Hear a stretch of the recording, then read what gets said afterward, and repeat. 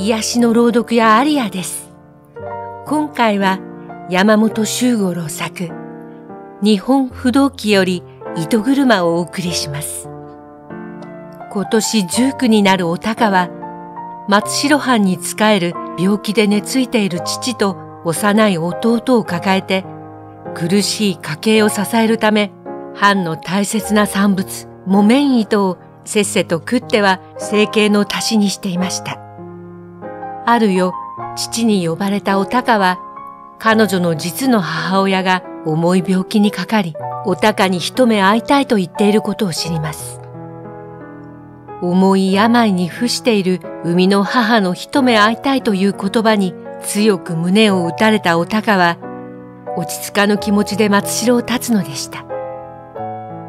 家族とは何か、幸せとは何かを問う心温まるストーリーです。それでは最後までごゆっくりどうぞ。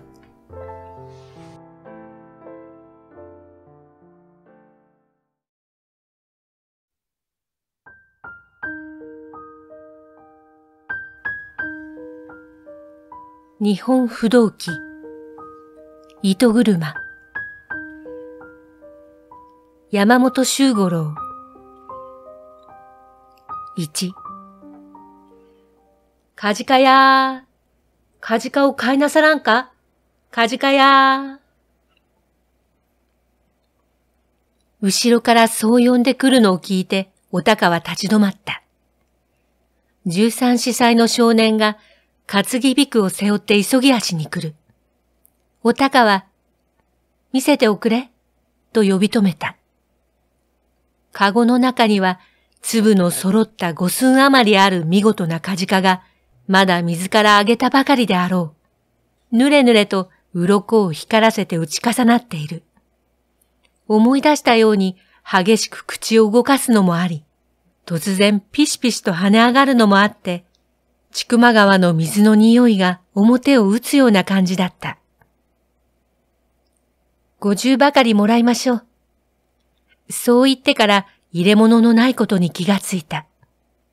どうしようとあたりを見やると、つい向こうに荒物屋の店のあるのを見つけ、この間からメザルが一つ欲しかったのを思い出した。あの店で入れ物を求めますから一緒に来ておくれな。近くならお宅まで持って行きますよ。少年は賢げな目でこちらを見た。お高は微笑みながら、それには及ばない。と言って歩き出した。新しいメザルへカジカを入れて帰る道々、おたかは何と言いようもなく幸せで心豊かにウキウキしてくるのを抑えきれなかった。どうしてこんなに嬉しいのかしらなぜこんなに心が弾むのかしら何度もそう自分に問いかけてみた。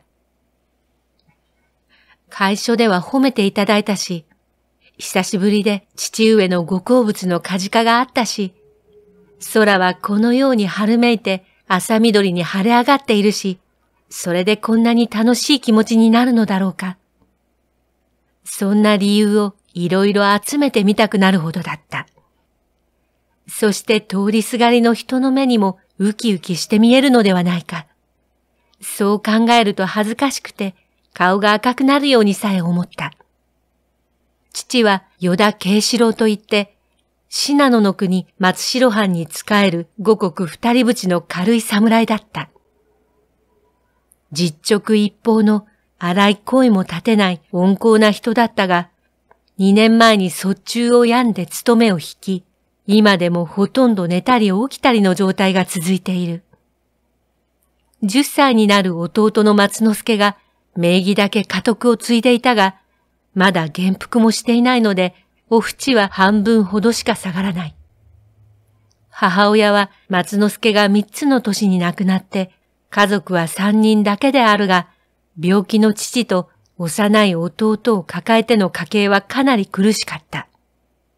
お高は今年十九になるが、父に倒れられて以来、その看護や弟の世話やこまごました家事の糸間を盗んで、せっせと木綿糸を食っては生計の足しにしていた。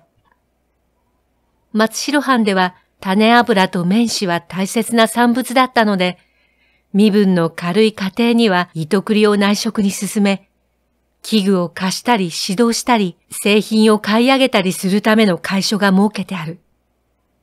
10日ごとにできた品を届けるのだが、今日もお高が食った糸束を持って行くと、いつも係になっている白髪のきつい目をした老人がメガネ越しにこちらを見ながら、糸の出来を褒めてくれた。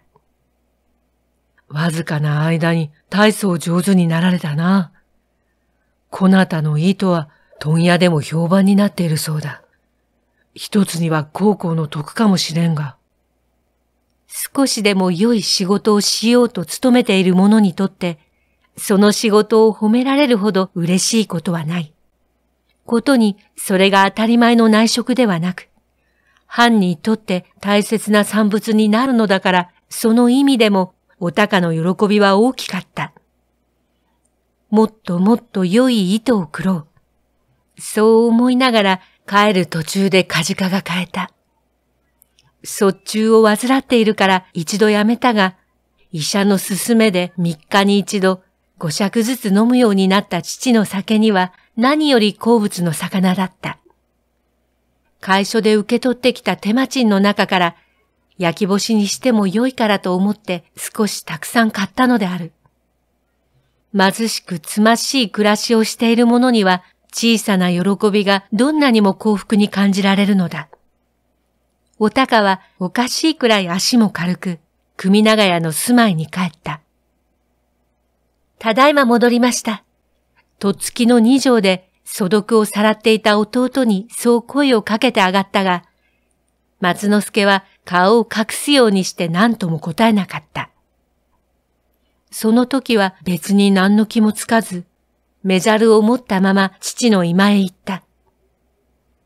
帰りにカジカを売っておりましたので少し求めて参りました。挨拶をするとすぐそう言って父に見せた。ご覧くださいまし。まだこんなに生きております。ほう、これは珍しい。見事なものだな。もうこんなにカジカの太る季節になったのだな。慶七郎は少し震えのある手を差し伸べてメザルの中の魚を好ましそうにつついてみた。ずいぶん数があるではないか。まだ高価であろうに。いいえ、それほどでもございませんでした。今晩のお酒に甘露煮と魚田をお作り申しまして、余った分は焼き干しにしても良いと思いましたから。こんな心配ばかりさせて、どうも。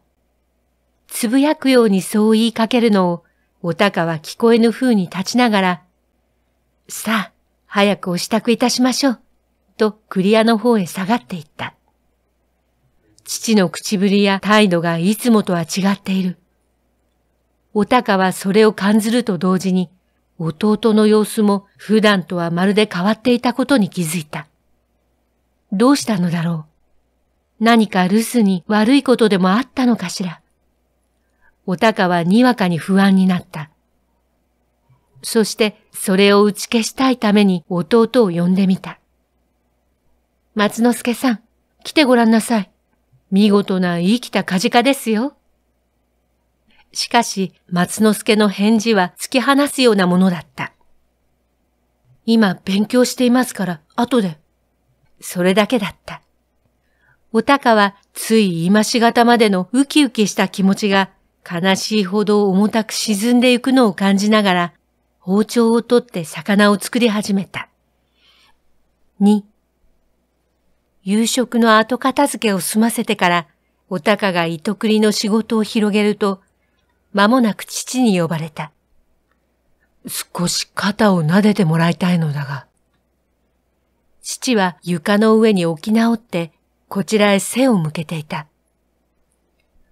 脇に置いてある暗ンの光が、痩せた父の高穂を痛々しく映し出していた。おたかはすぐそのせい捕まった。お寒くはございませんか？まだ酒が効いていると見えて、ほかほかといい心持ちだ。力を入れなくともよい。そうやって撫でていてくれればよいから。はい。このくらいでございますね。おたかは父の背から肩へかけて静かに撫で始めた。松之助は少し前に寝てしまい、ひっそりと静かになった組長屋の彼方から何か祝い事でもあるのだろう。小歌いの錆びた声が聞こえてきた。お前明日、松本へ行くのだがな。父がふと思い出したようにこう言った。松本では岡地殿がご病気だそうで、お前に一目会いたいから四五日のつもりで来てくれるようにと、お使いの者が来られたのだ。父上様。お高は思わずそう言った。手を休めては困るな。父は笑いながら肩を揺り上げた。どうにも固い笑いだった。ご病気ということだし、せめて四五日、長い滞在ではないのだから、今度はおとなしく行ってくるがいい。留守のことはもう石原のご内儀に頼んであるから。少しはお前の骨休めにもなるであろう。そういう父の言葉を聞きながら、おたかは弟の突き放すようなさっきの返事を思い出していた。やっぱりそういうことがあったのだ。松之助はそれを聞いて、幼い頭でどれほどか悲しがったに違いない。おたかはそう思いやると、鋭く胸が痛み出した。おたかには実の親があった。信濃の国、松本藩に仕えて、西村金太夫という、はじめ身分も軽く、大変困窮していた自分に、妻の岡地との間に次々と子が生まれ、養育することにもことかくありさまだったので、しるべの世話で松代藩の与田慶七郎にお高をやったのである。それから後、金太夫は不思議なほどの幸運に恵まれ、次第に重く用いられて、数年前には勘定型頭取で550国の身分にまで出世をした。このように立身して一家が幸福になると、親の情としてよそへやったものが不憫になるのは当然のことである。それもその子が幸せであれば別だが、人をやって尋ねさせてみると、与田慶七郎は妻に先立たれ、お高をもらった後で生まれた幼弱な子を抱えて、かなり貧しい暮らしをしているとのことだった。夫妻は幾度も相談をした上、それまでの養育料を払って引き取ることに決め、叱るべき人を間に立てて与田と交渉した。その時初めてお高は自分の身の上を知ったのである。慶七郎はありのままに何もかも語った。そして松本の家へ戻る方がお前の行く末のためだから。そう言って帰ることを勧めた。お高は考えてみようともせずに嫌だと言い通した。ついには部屋の隅に隠れて泣き出したまま何を言っても返事をしなかった。肝心のおたかがそんなありさまだったので、間に立った人もどうしようもなく、その時の話は結局まとまらずじまいだったのである。岡地殿のご病気はかなり重い様子なのだ。と父はしばらくして言葉を継いだ。一目会いたいという気持ちもおいたわしいし、お前も実の子として一度ぐらいはご看病がしたいだろうと思う。意地を張らずに行ってくるがよい。ほんのわずかな日数のことだから。おたかはほとんど聞き取れぬほどの声で、はい、と答えた。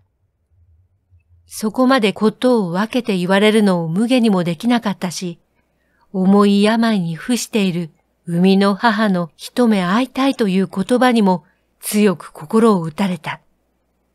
血離れをするとすぐ松代へもらわれてきたそうで、西村の父母の顔は全く記憶にはない。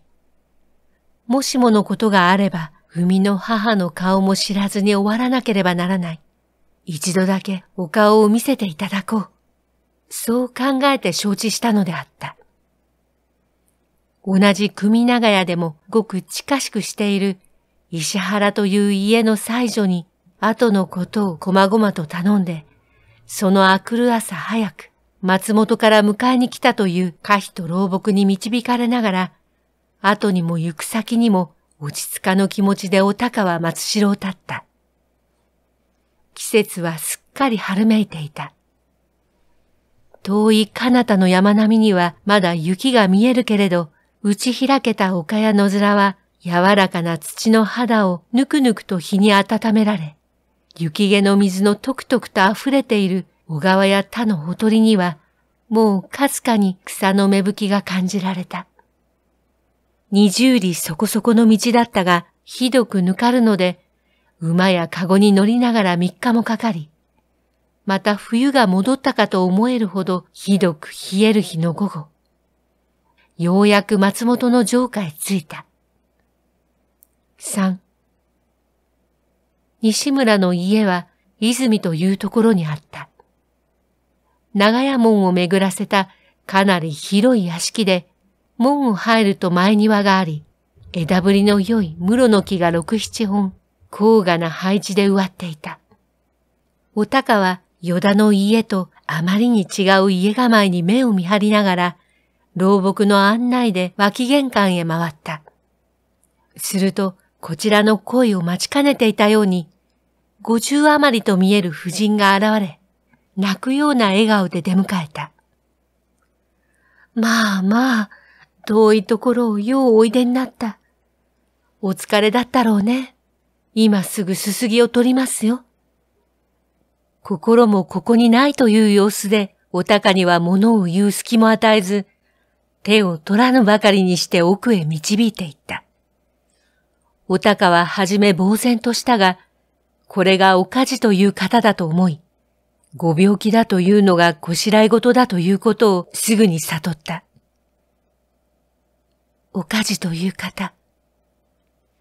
彼女の頭に浮かんだのはそういう呼び方で、母という表現はどうしても出てこなかった。そして、このこしらえ事の中には単純でないものが隠されていること。しかもそれがかなり決定的であるということは直感しつつ、その夫人のするままになっていた。どんな大切な客ででもあるかのように、家事女は召使いをせき立てて、お高に風呂を進めた。風呂に入っていると、二度も湯加減を聞きに来たし、上がると仕立ておろしの高価な衣装が揃えてあった。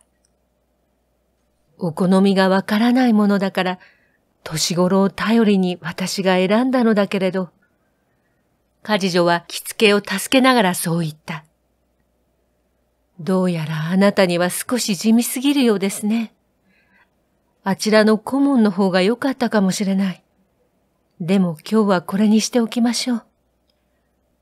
独り言のようにそんなことを言いながら、撫で回すような目でお高の姿を富込みして飽きなかった。お高はやはり黙ってされる通りになっていた。問いかけられると、ええ、とか、はい、とか答えるが、自分の方からは何も言わず、家事女のどこかしら熱を持ったような眼差しにも、できるだけ気づかぬ風を装っていた。西村の父や兄弟たちは夕食の時引き合わされた。父は思いのほか若かった。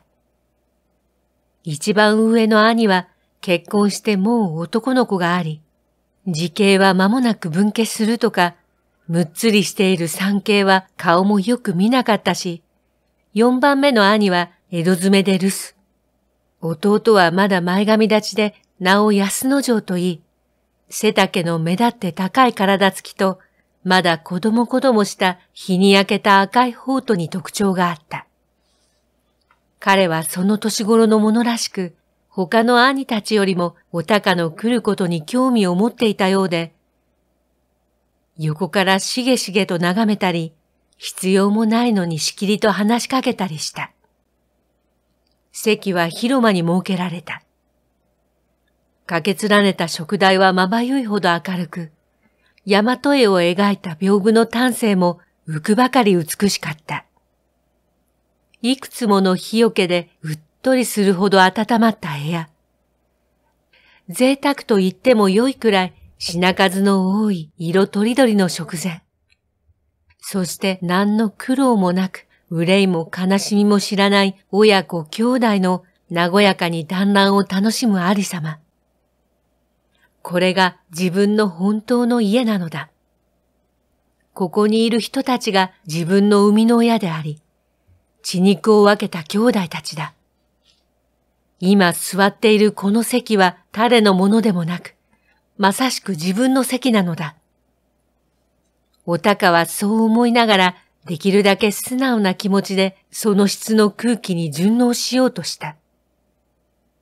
けれども食台は明るすぎ、絵屏風はあまりに美しく絢爛で、いかにも落ち着きにくく眩しかった。数々の料理も、いずれは高価な材料と念入りな割烹によるものであろうが、お高には何やらよそよそしくて美味しいという気持ちは起こらない。そして、その一つ一つが松代の家のことに思い比べられ、締め付けられるように胸が痛んだ。切り張りをした障子、古びた襖、茶色になってヘリの擦れている畳や、染み割れのある歪んだ柱、すすけた安藤の光に映し出される、あの狭い、貧しい部屋のありさまがまざまざと見える。乏しい炭をまるでいたわるように使うあの火よけ一つでは、冷えの厳しい今宵はどんなにか寒いことだろう。与田の父と松之助は今二人きりで、あの貧しい部屋のつつましい食前に向かっている自分だ。才の皿場一つ、汁碗のつくことさえ稀で、漬物の鉢だけが変わらない彩りである。今目の前にある豊かな全部から見れば悲しいほど貧しいものだ。しかしその一皿の菜をどんなに心を込めて作るだろう。また父や松之助がどんなに喜んで食べてくれることだろう。頼んできた石原の妻女はよく気の回る親切な人だった。父の好物もあらまし告げてきたが、今宵はどんな支度ができたであろうか。父の気に入るものだろうか。もしかして酒を上がりすぎはしないかしら。おたかの頭はこういう考えでいっぱいだった。何を食べたかも覚えず、どういう会話が取り交わされたかも知らなかった。そして終わるとすぐ自分のために用意されたという部屋へ引きこもり、何か話しかけたそうな家事女にも、疲れているからと断って、まだ酔いのうちからヤグの中に入ってしまった。四。あくる朝、起きてきたお高の目が痛々しいほど赤く腫れぼったくなっているので、家事女がびっくりして、どうおしだと尋ねた。おたかは寂しげに微笑んだ。寝疲れたのでございましょう。少し休み過ごしましたから。それならいいけれど、家事女は確かめるようにこちらを見ていたが、すぐ思い返した様子で、今日は山辺の出湯へ行くから支度するようにと言った。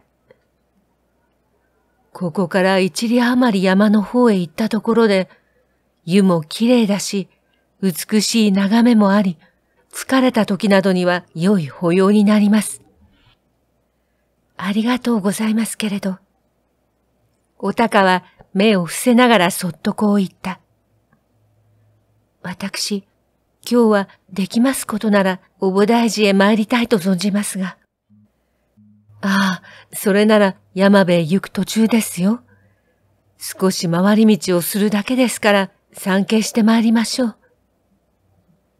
いいえ、おたかはかぶりを振った。私、今日はお参りだけにいたしとうございます。初めてのことでございますから。初めて祖先の墓へ参るのに、湯産を兼ねるのは無作法だと思う。そういう意がはっきり現れていた。家事女はさすがに重はゆそうだった。それなら山部は明日のことにしましょう。こう言って、その日は墓参りということに決めた。菩提寺から帰る道で、お高は自分の生まれた家が見たいと言った。家事女は進まない様子だったが、一緒に行った弟の安之丞が先に立って案内した。深しというところの端に近く、身分の軽い侍屋敷が一塊になっている。その中でも貧しげな古びた幾棟かの中にその家はあった。目隠しというばかりの塀を取り回した中にささやかな庭があり、枝ぶりのいじけた勢いのない松が門の脇に立っていた。板吹きの屋根は口乾いて松笠のようにはぜ、小さな玄関の柱や羽目板は雨風にさらされて洗い出したように木目が高く現れていた。軒は傾き、日差しは波を打っている。周りにゆとりがあるのと部屋の数が少し多いかと思えるだけで、その他は松代の家とは大差のない住まいだった。私はこの家に五つまでいたのですよ。安野城はそう言って何の屈託もなく笑った。あの窓の下の地面にあり地獄がいましたっけ？それを取って手のひらを這わせるんです。するとそいつは手の皮の中へ潜り込もうとする。むずむずしてくすぐったいんですが、その格好が面白いのでよくやったものです。ご存知ですか？そんなことを今日ありげに言った。お高はふと、この弟も今の屋敷よりはこの貧しい家の方に心惹かれているのではないか。そんなことを考えながら間もなく首すを返した。翌日は家事女に連れられて山辺の温泉へ行った。それは城から東北にあたる山懐にあり、清らかな流れと谷合の眺めの美しい場所だった。親子は一緒に湯に浸かったり、香り高い草木の芽をあしらったひなびた昼を食べたりした後、まだ珍しい山うどを土産に屋敷へ帰った。三日目は家にいて、兄弟たちと話したり、自慢の道具を見たりして暮らした。その夜のことである。自分に当てられた部屋で家事女と相対したとき、おたかは明日松代へ帰らせていただくと言い出した。家事女はそう言われるのを予期していたらしい。そっと部屋を出て行ったが、週に一通の封書を持って戻ってきた。与田殿からあなたに宛てた手紙です。とにかくこれを読んでごらんなさい。こう言ってそれを渡した。受け取ってみると、正しく与田の父から彼女に宛てたものだった。今度松本へお前を返すにあたってはいろいろ考えたが、西村からこれまでの養育料としてかなり多額な大物をくれる話があり、それだけあれば自分は電池でも買って松之助と二人安穏に暮らしてゆけるし、お前も西村の娘として幸せな生涯に入れるであろう。自分のためにもお前のためにもこうするのが一番良いと思う。直にこの行くたてを話した上、心よく別れを惜しみたかったが、顔を見ていてはお前の気持ちが決まるまいと考え、無慈悲なようだが偽りを言って立たせた。どうか今度はわがままを言わずに承知してもらいたい。西村へ行ったら両親に孝行を尽くすよ。兄弟と仲よう、幸せな行く末を祈っている。そういう意味のことが、与田の父らしく特実な筆付きで書いてあった。よくわかったでしょ？家事女はお高の読み終わるのを待って、しみじみとこう言った。今になってお前を取り戻そうというのは勝手かもしれない。けれど、父上やこの母の気持ちも察しておくれ。お前の生まれた自分は父上のご身分も軽く、子供を多く抱えて、恥ずかしい話だけれど、その日のものにも差し支えるようなことさえある貧しく苦しい暮らしでした。人の親として血離れしたばかりの子をよそへやらなければならない。それがどんなに辛い悲しいことか。やがてお前がこう思ったら分かってくれることでしょう。身を切られるようなという、そんな言葉では言い表せない辛い、悲しい思いでした。五。それほどの思いをしてもお前をやらなければならなかった。もう耐えきれない。一家が飢え死にをしてもいいから取り戻しに行こう。何度そう思ったか知れません。暑さ寒さ、朝に晩に泣いていはしないか、病気ではないかと心にかからぬ時はありませんでしたよ。家事女は袖口で目を押さえながらしばらく声を途切らせていた。父上のご運が開けて、どうやら不自由のない明け暮れを迎えるようになってから、父上と私はお前を引き取る相談ばかりしていました。松代へ人をやって訪ねさせると、長く病んでいる与田殿と幼い弟の面倒を見ながら、お前が糸繰りをして家計を立てているという。貧に迫られてやったお前が、今は自分でその貧と戦っている。それを思うと、私たちはとても安閑と暮らしてはいられなかった。これまでの苦労をいくらかでも償ってあげなければ、生みの親としてどうしても心がすまないのです。与田殿には決して悪いようにはしません。タカさん、こちらへ帰っておくれ。この西村の娘になっておくれ。ね。膝の上に揃えた両の手を固く握りしめながら、おたかはこわばった顔をじっとうつむけていたが、家事女の言葉が終わると、静かに目を上げて、おぼし飯はよくわかりました。本当にありがとう存じますけれど、私、やはり松代へ帰らせていただきます。抑揚のない声でそう言った。家事女の方のあたりがかすかに引きずった。でも、与田殿とはもう話がついているのです。どちらのためにもこれが一番良いと与田殿も言っておいでなのですよ。それをご本心だとおぼしめしますか？おたかはそっとかぶりを振り、カジドの目を見上げた。与田の父がそうおっしゃるのは、こちらへの定規からだとはお考えになれませぬかあなたは今、人の親として、こうよそへやることがどんなに辛いものかということをおっしゃいました。血離れをするまでの親子でもそれほどなのに、18年も一緒に暮らしてきた親子はそうではないとおぼしめしですか？おたかはそう言いながら松本へ行けと言われた夜のことを思い浮かべた。あの時、与田の父はこちらへ背を向けて、おたかに肩を揉ませながらあの話を切り出した。父はおたかの顔を見ることができなかった。自分の辛い顔も見せたくなかったのだ。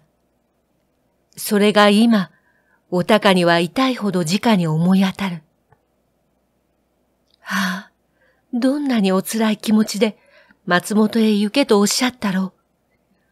おたかは胸を刺されるように感じながら静かに続けた。与田の家は貧しゅうございます。私が糸繰りをして、カツカツの暮らしを立てているのも本当です。けれども、それは、あなたがお考えなさるほどの苦労ではございません。こう申し上げては言葉が過ぎるかもしれませんけれど、今度のことさえなければ、私、幸せ者だとさえ思っておりました。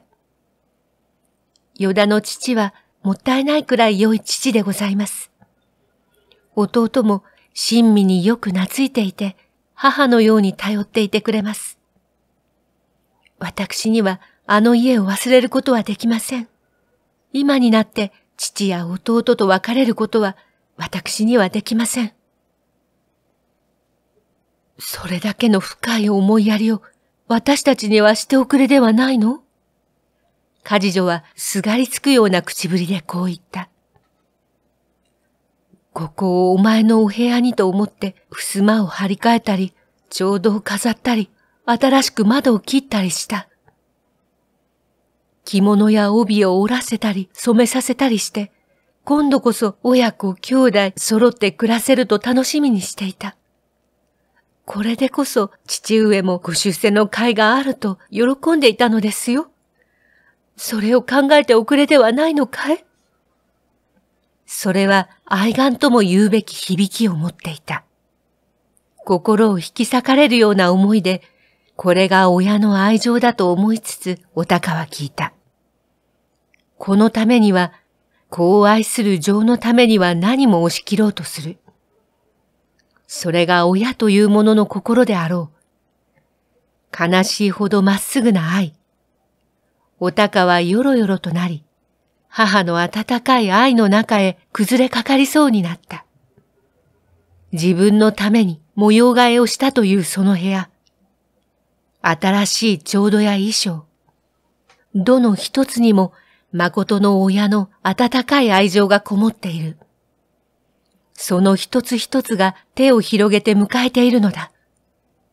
けれども、お高は懸命に崩れかかる心を支えた。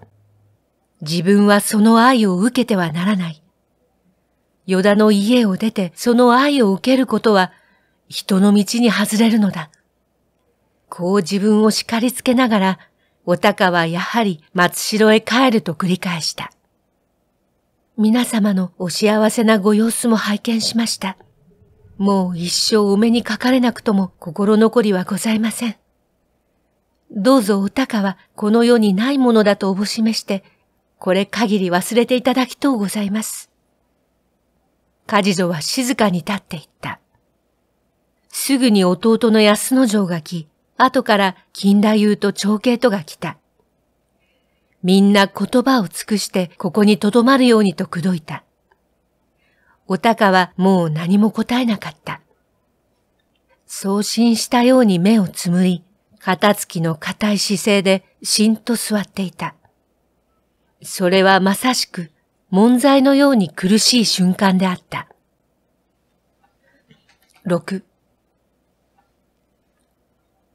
あくる朝、まだほのぐらいうちに、お高は松本を立った。来る時の老木と可否が共について、梶女と安之丞とが城下から一里余りの中原という辻まで送ってきた。そしてそこの掛け茶屋で一緒に茶をすすり、しばらく別れを惜しんでからたもとを分かった。二人はお高の姿が道を曲がってゆくまで見送っていたが、お高は一度も振り返らず、まっすぐに並木の松の彼方へ去っていった。道を急いだので、松代へは三日目の昼前に着いた。城下町が見え出すと、もう胸がいっぱいになり、いくら拭いても後から後から涙がこみ上げてきた。ほんのわずかな留守だったが、山々の姿も千曲川の流れも懐かしく、目につくほどの木立や丘や段々畑、路上の石ころまで呼びかけたいような懐かしさが感じられて、国へ帰ったという気持ちがした。松之助は稽古からまだ帰らず、家には慶七郎一人、ちょうど薬刀を煎じていたところだった。老木の訪れる声を聞いて玄関へ出てきたが、入ってくるお高を見ると、あっ、という表情をした。ただいま戻りました。お高は簡単にそう挨拶すると、すぐ裏へ回って自分のすすぎをし、友の二人にも上がって一晩泊まってゆくようにと言った。しかし彼らは玄関で西村からの工場を述べ、手土産などを置いて上がらずに立ち去った。どういうわけで帰った？差し向かいになって座ると、慶七郎は煎じていた薬湯を湯飲みに継ぎながらそう言った。持たせてやった手紙は読まなかったのか？拝見いたしました。それなら事情はわかっているはずだ。俺も安穏な余生が遅れるし、お前の一生も幸せになる。そう考えてしたことなのに、目先の情に溺れて何もかも打ち壊してしまうつもりか。お許しくださいまし、父上様。お高は、ひしと父を見上げ、そこへ手をついた。私もっと働きます。お薬にも不自由はかけません。お好きなものはどんなにしても整えます。もっとお見回りもきれいにして、お住み心地の良いようにいたします。ですから、どうぞお高をこの家に置いてくださいまし。